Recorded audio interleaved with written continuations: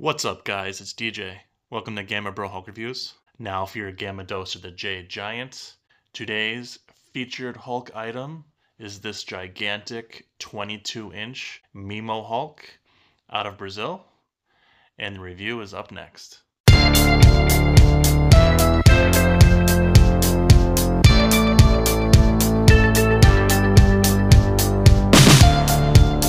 Thanks for joining me today, guys. Today is a very cool Hulk item that just recently came in. This is a 22 inch rotocast. So, rotocast is a vinyl, a soft vinyl figure that is primarily hollow, mostly not, you know, a lot of articulation at all. It's a blown cast molds in a PVC vinyl. Very, very light, very good quality, and they're very, very popular in figures because you can make very large ones and vinyl super popular. So this company is Mimo. So Mimo's out of Brazil. They have a license of a couple Marvel characters, widely known for their Hulk stuff. So they have a few different 22 and 24 inch Hulks. They also have a red Hulk, a couple different variants and colors. And then it's widely, just because vinyl is pretty, not easy to make, but very popular. Mexico has taken the mold of these Mimo figures and made it KO and like knockoff recasts of them that are also very popular to go for a lot of money. But this one is an authentic Mimo, and I'll show you what he looks like right now. Hope you like him. So 22 inches, incredible quality. As I said, I like to get things in really, really good condition, and he's pretty much flawless, which I am very picky about. But I finally got one in great condition, and I'm very happy with it.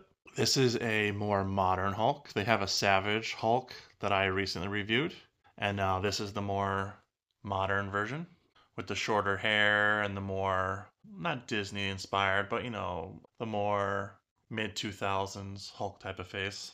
This is a unique sculpt for this particular figure. It is different than the recent one I reviewed. It's about an inch shorter, completely different quality because I had the KO of the Savage Hulk and this is the authentic version.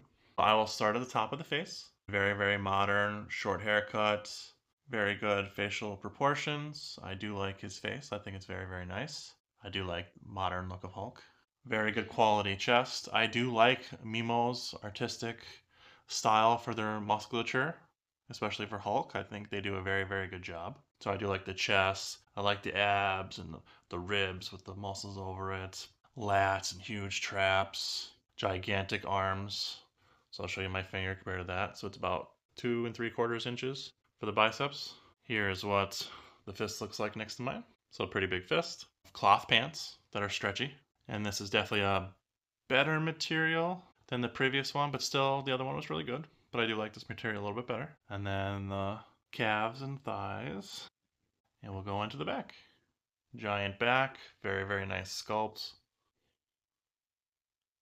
Absolutely love it. And overall, is a very, very cool figure. So, for sculpt, Again, I do like Mimo.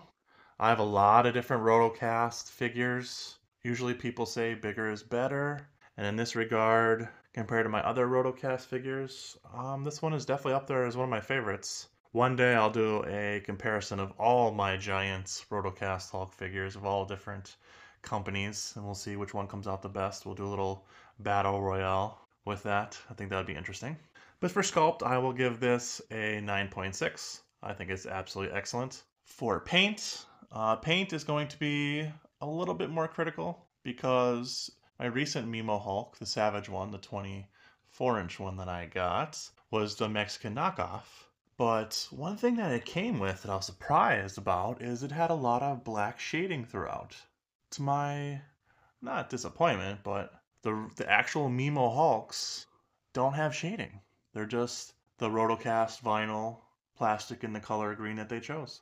So I actually like, you know, the shading of the the Mexican bootleg a little bit better. This is a lighter green compared to the other one. Pants are a little bit darker purple compared to the other one. And again, the hair, this has a very high gloss for the hair.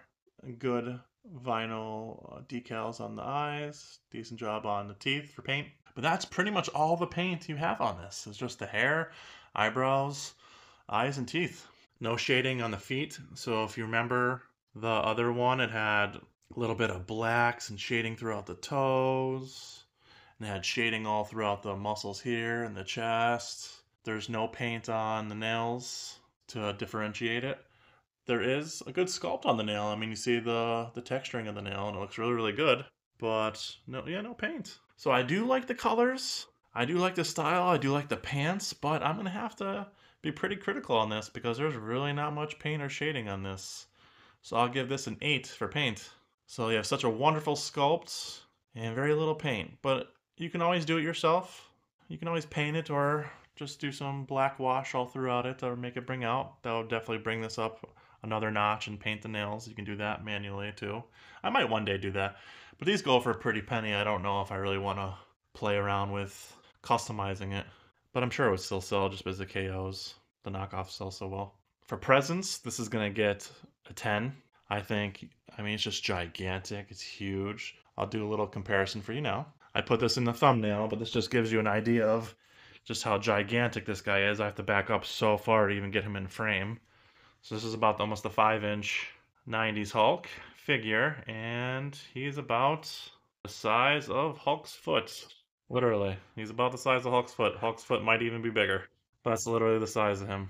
This Hulk is just absolutely enormous and has a lot of presence to him. So the presence is definitely a 10. These are the type of figures you just want to put on a shelf, pose real nice, and he just gives off such a a great presence. Usually people that come down and look at figures will definitely navigate to these bigger figures just because they have such good presence to them. Now I'll do articulation. I'm not even going to really put my hands on this for articulation just because there's really not much to it. You have articulation in the neck, so you can do a full 360. You have articulation in the shoulders, so you can do a full 360 on the shoulders. There is zero articulation in the arms. So again, this is rotocast. Usually rotocasts do not have articulation in those areas. There's a, a waist swivel, so I'll bring this down for you a little bit. So you can move his waist around. There is rotation right here on his hip, so you can kind of swivel his legs. But because there's no rotation in the ankles or the knees, you kind of have to have the hips in a certain way just to get the feet flat. Because when the feet aren't flat, he'll be a little off balance, and you don't want that because you don't want this guy tumbling down. Even though he's light, these type of vinyl figures, quality wise, that I'll just jump into right now, you really don't want to play around with these too hard because they will scratch easy and they'll be shiny. The scratch will be shiny and stand out. So the only little nick that I see on this one is right here. So that's just a little example that, you know, he's pretty much mint.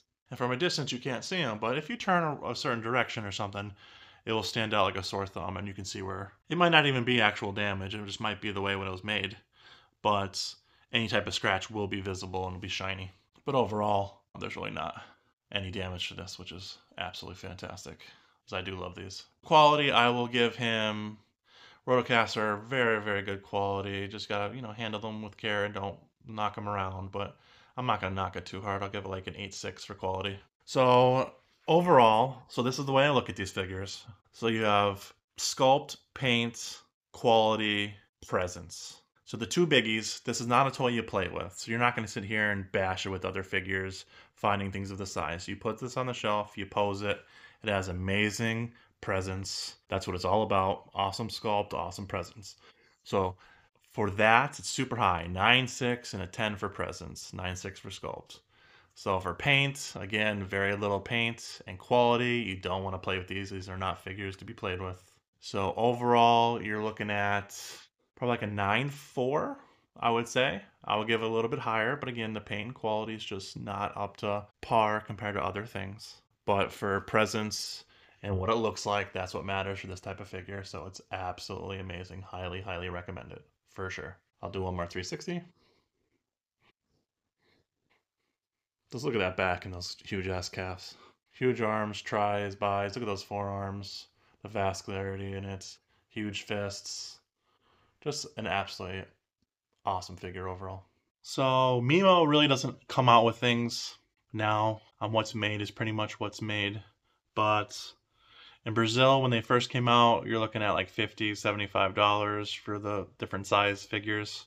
Pretty rare. So the authentic Mimo ones. Oh, I want to show you this as well, actually. So how you know it's authentic is when it has the, the Mimo stamp. So this is licensed by Marvel. It actually has a trademark. There's the Mimo symbol. And again, it came out in 2015. So if you don't see that stamp on it, then it's it's a knockoff and it's a fake. So knockoff fakes version of this go for like 80 bucks to 150 dollars. If you want a really really good high quality official Mimo, you're looking at 150 to 250 depending on which style and size you get. And then if you want a box version, you're looking at three, four hundred dollars probably. That's usually what they go for for the box ones. Overall, highly recommend it. They're, they're long sold out.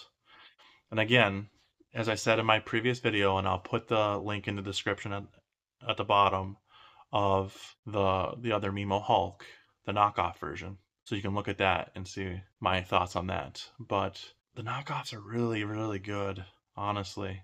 You know, you really can't even tell the difference between the knockoffs and the, the authentic versions. I'll do a comparison. I'll show you different quality. A little bit slight quality in vinyl I'll give to the Mimo. But paint job, presence, I don't know. It's pretty damn close. So just keep a lookout out for any of those type of figures. Let me know if you got them or what you think of them. Thanks for watching, guys. I hope you enjoyed this. Please Hulk smash the like button, subscribe. On a later date, I will do a versus battle against the official modern Mimo Hulk against the savage knockoff Mimo Hulk. Look out for that video. So have a wonderful day, guys. I'll see you in the next one. Peace. Seven, six, five, four, three, two, one. You'll never have the sacred stone. oh, this you crazy mother.